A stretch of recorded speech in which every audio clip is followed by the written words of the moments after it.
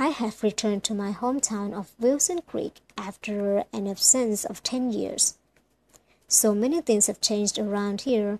When I left Wilson Creek, there was a small pond on the right as you left town.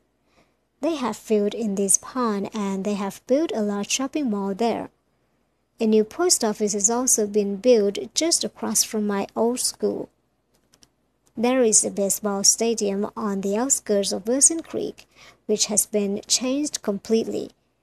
They have now added a new stand where probably a few thousand people could sit. It looks really great.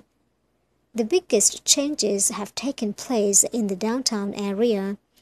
They have pedestrianized the center and you can't drive there anymore.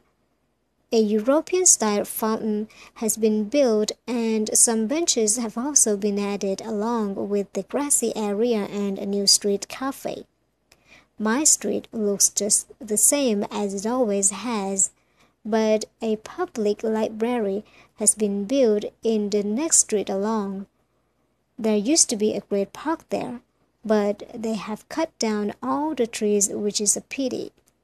The library now has a large green area in front of it, but it's not the same as when the park was there. Another improvement is the number of new restaurants that have opened in Wilson Creek. A Chinese and an, Ita- an Italian restaurant have opened in the town center, and a Mexican restaurant has opened near my home which is where I am going tonight.